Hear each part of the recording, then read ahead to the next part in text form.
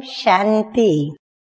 आज की तारीख है एक दो सत्रह और आज की ज्ञान मुरली का शीर्षक है, मीठे मीठे बाप दादा हमें कहते हैं, मीठे बच्चे रोज अमृत वेले, ज्ञान और योग की वास धूप जगाओ तो विकारों रूपी भूत भाग जाएँगे। यज्ञ किया जाता है कि भाई कोई तकलीफ़ ना आए, शांति हो, या जो भी विघ्न आता है, उस विघ्न को हटाने के लिए किया जाता है। ठीक उसी प्रकार से वास धूप जो किया जाता है, वो अक्सर करके अशुद्धियों को हटाने के लिए, या जो भी नकारात्मक बातें हैं, या उनके जो वाइब्रेशंस है, उनको मिटाने के लिए, या अगर अंधश्रद्धावश बात कहें तो भूतों को भगाने के लिए। तो वास धूप किया जाता है। तो बाबा भी कहते हैं कि रोज अमृत वेले ज्ञान और योग की वास धूप जगाओ। तो उससे क्या होगा कि ये जो विकारों रूपी भूत हैं, वो भाग जाएँगे, क्योंकि उससे हमें ताकत मिल जाएगी योग से। प्रश्न है कौन सी एक भूल अनेक भूतों को अंदर में प्रवेश करा देती है? हम बच्चों से कौन सी वो भूल हो जाती है जो उनों के लिए, भूतों के लिए दरवाज़ा खुल जाता है? उत्तर है, मैं आत्मा हूँ, ये बात भूलने से अंदर में अनेक भूत प्रवेश हो जाते हैं।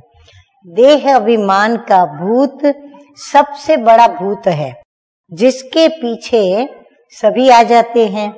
इसलिए जितना हो सके देही अभिमानी बनने का पुरुषार्थ करो। गीत बजा है आज अंधेरे में है हम इंसान, ज्ञान का सूर्य चमका दे भगवान।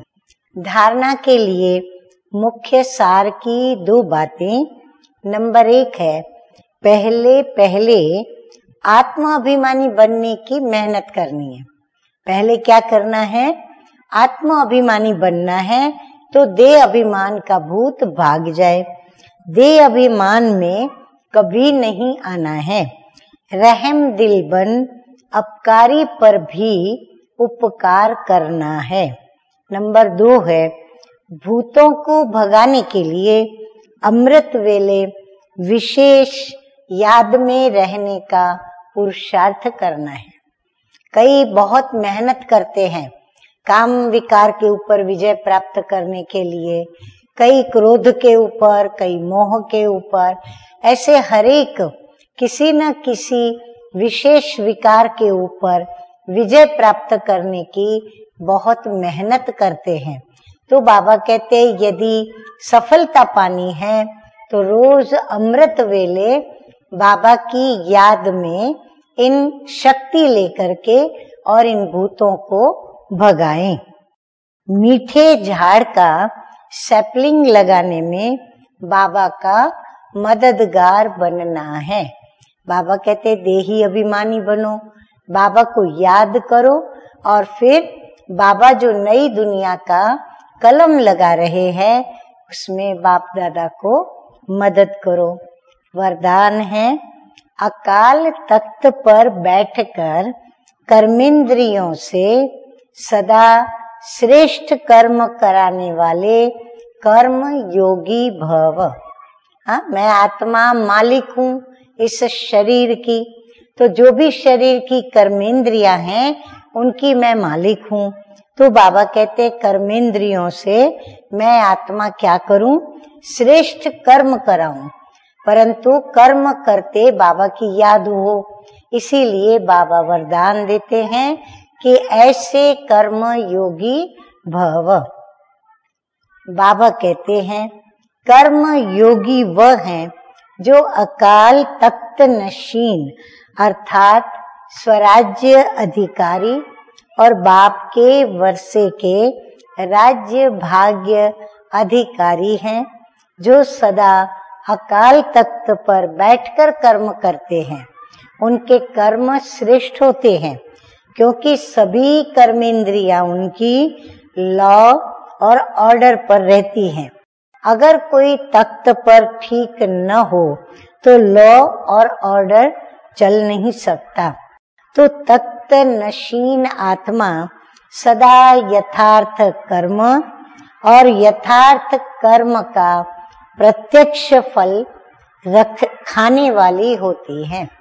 बाबा कहते, जो ऐसे यथार्थ कर्म करता है, उनको फल भी यथार्थ मिलता है। उसे खुशी भी मिलती है और फिर शक्ति भी मिलती है। स्लोगन है ब्रह्मा बाप के प्यारे वह हैं। हाँ ध्यान से सुने। ब्रह्मा बाप को कौन बच्चे प्यारे लगते हैं? ब्रह्मा बाप के प्यारे वह हैं, जिनका ब्राह्मण कल्चर से प्यार है। ब्राह्मण संस्कृति जो हमारी है, उससे जिनका प्यार है, ब्रह्मा बाप उन बच्चों को प्यार करते हैं। अच्छा मीठे मीठे सिकिलधे बच्चों प्रति मात पिता बाप दादा का याद प्यार और गुड मॉर्निंग। रूहानी बाप की रूहानी बच्चों को नमस्ते। हम रूहानी बच्चों का रूहानी बाप दादा को याद प्यार गुड मॉर्निंग और नमस्ते नमस्ते। ओम शांति।